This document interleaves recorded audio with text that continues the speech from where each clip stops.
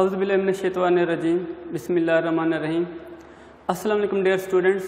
My name is Ghayoor Abbas and I am your physics teacher today the topic we are going to discuss is exercise short question जैसे कि आपको पता है कि हम कल जो डिमेंशन वाला टॉपिक है, वो भी पढ़ चुके हैं। तो हमारे पास नेक्स्ट है, हमारे पास पहले यूनिट की एक्सरसाइज तो सबसे पहले आज हम ये करेंगे कि हम आज टोटल जो शॉर्ट क्वेश्चन हैं, आपकी एक्सरसाइज में है नाइन हैं।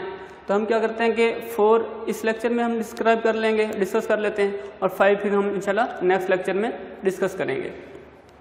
तो सबसे पहला जो शॉर्ट क्वेश्चन है, उसमें हमारे पास, हमसे पूछा गया कि name the several repetitive phenomena occurring in nature which serve as reasonable time standard कि हमारे पास हमें अपने नेचर में, अपनी कुदरत में, जो कुदरती तौर पर हमारे पास कुछ रिपीटिव जो बार बार दोहराए जाते होते हैं, वो फिनोमिनाज वो अवामिल बताने हैं तो जो हमारे पास रीजनेबल स्टैंडर्ड टाइम से मुराद ये है कि जो हमारे पास उस टाइम को रिपीट करते हों।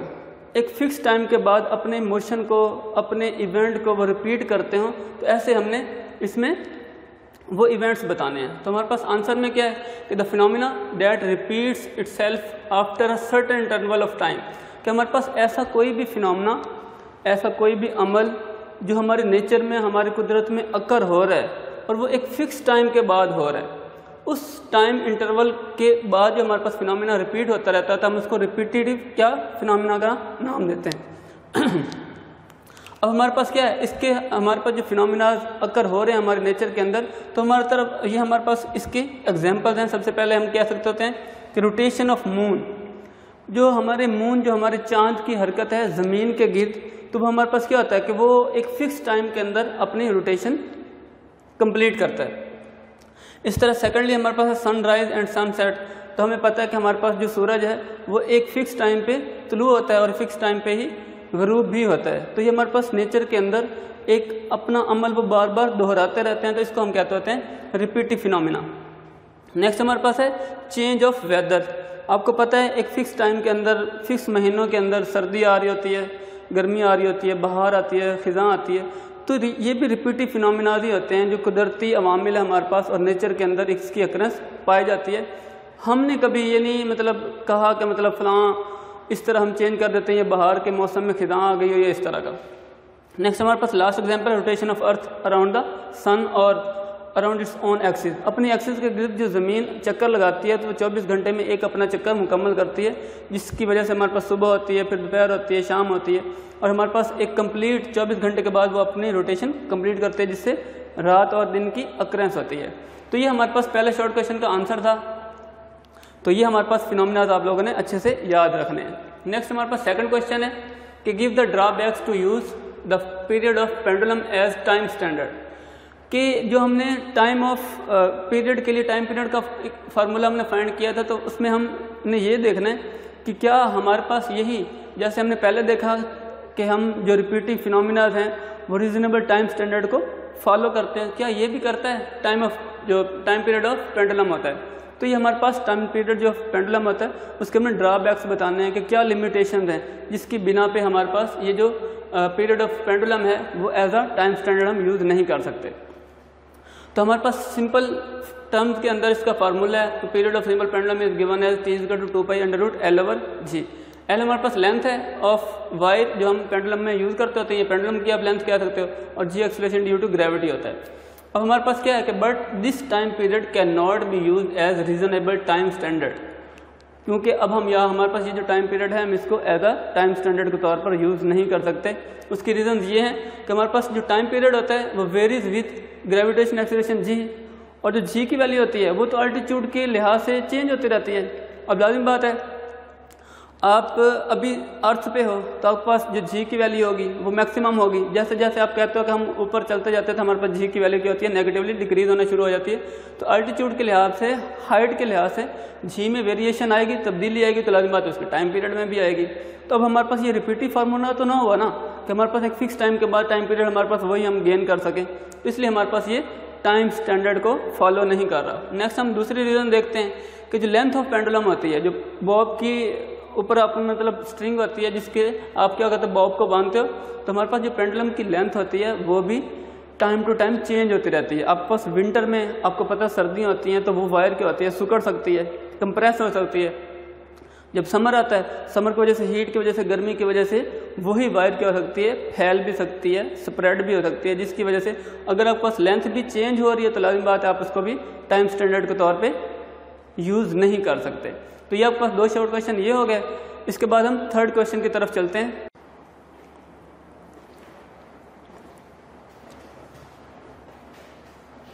नेक्स्ट हमारे पास जो थर्ड क्वेश्चन है, उसकी स्टेटमेंट ये है कि why do we have two units for the amount of substance the kilogram and mole आसान उर्दू में बताना चाहूँगा कि हमारे पास वो पूछ रहे हैं कि हमारे पास अमाउंट ऑफ़ सब्सटेंस को डिस्क्राइब करने के लिए एक्सप्लेन करने के लिए हमारे पास दो यूनिट्स का हम इस्तेमाल क्यों करते हैं? कि किलोग्राम को भी हम यूज़ कर सकते हैं और मोल को भी यूज़ कर सकते हैं। दो यूनिट हमारे पास क्यों है? तो इसका आंसर होगा, सबसे पहले आप अगर रीज़न रखना चाहें तो लाजिम बात अगर आप पास पास कोई रीज़न है तो आप उसकी हेडिंग दोगे, ठीक है? तो हम सबसे पहले, जो पहले रीज़न हमारे पास है, मोल के लिए तो हम ये डिस्क्राइब करते हैं कि when we are concern with number of particles then we use mole as a unit मतलब कहने का ये है कि हमारे पास, जब हमें चाहिए कि हम नंबर ऑफ़ पार्टिकल्स को डिस्क्राइब करना चाहते हैं एक मोल में जो नंबर ऑफ़ पार्टिकल हम यूज़ करते होते हैं वो तमाम के सेम होते हैं। मतलब अगर आप, आप अमाउंट ऑफ़ ऑक्सीजन लेना चाहते हो तो दो मोल्स हैं तो हाइड्रोजन के भी दो मोल होंगे। और इस तरह मतलब हम हर पार्टिकल के अगर same amount of particle use करते हैं तब हमारे पास वो मोल में कंसिडर होगा। यहाँ पे मैंने लिख भी दिया कि हमारे पास substances because one mole contains the equal number of particles तो एक मोल के अंदर इक्वल नंबर ऑफ़ पार्टिकल्स होंगे उसको हम क्या कह देते हैं मोल्स। नेक्स्ट अगर हमें but in case when we are concern with the quantity of matter we use the unit kilogram अब हमारे पास किलोग्राम में क्या होता है? कि हम डिफरेंट चीज़ों की डिफरेंट अमाउंट कंसिडर कर सकते हैं। मिसाल के तौर पर आप किसी शॉप के पास जा शॉप कीपर के पास जाते हो शॉप पे तो हम डिफरेंट कोई भी आइटम्स होते हैं, किसी भी आइटम को मतलब कुछ पाव ले लेते हैं, कुछ आधा किलो ले लेते हैं, कुछ किलो ले लेते हैं तो ये हमारे पास किलोग्राम में होता है। ठीक है? तो ये हमारे पास डिफरेंट अमाउंट्स के लिए यूज़ होता है। आपने याद रखना है, जो मेन बात है इसमें, कि जो वन मोल होता है अमाउंट ऑफ़ सब्सटेंस का यूनिट उसमें हमारे पास जो भी पार्टिकल्स होंगे, वो हमने सेम अमाउंट के लेने हैं। और हमारे पास किलोग्राम में क्या होगा कि हम डिफरेंट अमाउंट यूज़ कर सकते होते हैं। तो ये बेसिक रीज़न है कि हमारे पास दोनों यूनिट हम यूज़ करते होते हैं। उसके बाद फोर्थ शॉर्ट क्वेश्चन है हमारे पास। थ्री स्टूडेंट्स मतलब तीन स्टूडेंट्स हैं measure the length of needle with a scale on which the minimum division is one millimetre and recorded as तो ये तीनों स्टूडेंट्स की जो तीनों रीडिंग दी है, एक ने zero point two one four five metre use की है मेजर की है सॉरी उसके बाद 0.21 मीटर और उसके बाद थर्ड ने 0.214 मीटर मेजर की है। तो इनमें से करेक्ट कौन सी है, सही कौन सी है? तो बच्चे, मैं आपको सिखा चुका हूँ कि प्रिसाइज मेज़रमेंट के लिए मस्ट है कि जो उसका लिस्ट काउंट हो, उसी की फॉर्म में, उसी की शेप में मतलब जितने डेसिमल पॉइंट्स वहाँ पे हम कंसिडर करते हैं, उसी के मुताबिक अगर आंसर आता है तो वही हमारे पास प्रिसाइज भी होगी और करेक्ट भी मेज़रमेंट होगी। तो आंसर में हम देखते हैं कि हमारे पास जो करेक्ट आंसर है वो 0.214 मीटर जो कि आपके पास थर्ड ऑप्शन है। अब ये किस तरह है? आपको पता है कि हमारे पास जो लिस्ट काउंट दिया है वन मिलीमीटर है। तो वन मिलीमीटर को जो हमारे पास जो आंसर दिया है वो मीटर में है। तो आपने वन मिलीमीटर को क्या करना है? कन्वर्ट कर देना है मीटर के फॉर्म में तो हमारे पास वन मिलीमीटर ही zero point zero zero one metre के बराबर होता है। अब एक मिलीमीटर को हज़ार से डिवाइड करोगे तो हमारे पास ये मीटर में कन्वर्जन आ जाएगी। सबसे पहले आप लोगों ने ये काम कर लेना है। अब देखें डेसिमल प्लेसेस हमारे पास कितनी है? वन टू थ्री तो हमारे पास आप लोगों ने ऑप्शन देख लेने हैं कि जितनी डेसिमल प्लेसेस में आपके पास लिस्ट काउंट आ रहा है, वही आपके पास करेक्ट ऑप्शन होगा और वही हमारे पास प्रिसाइज मेज़रमेंट दे रहा होगा। तो हमारे पास जो थर्ड ऑप्शन है zero point two one four तो इशारिया के बाद हमारे पास थ्री डेसिमल प्लेसेस उसी के अंदर पाई जाती हैं। तो यही हमारे पास क्या होगा? करेक्ट आंसर होगा। यहाँ मैंने लिख भी दिया कि सो लेंथ भी can be precisely measure up to three decimal places तो हमारे पास थ्री डेसिमल प्लेसेस इसी थर्ड ऑप्शन में आते हैं। तो ये थे बच्चे आप लोगों के पहले शॉर्ट चार शॉर्ट क्वेश्चन तो ये इस लेक्चर में हम ने डिस्कस किए आप लोगों को अच्छे से समझ भी आ गई होगी, आप लोगों ने अच्छे से तैयार भी कर लेने हैं। तो इंशाल्लाह बाकी जो हम फाइव लेक्चर फाइव जो शॉर्ट क्वेश्चन होंगे, हम नेक्स्ट लेक्चर में इंशाल्लाह डिस्कस करेंगे। अल्लाह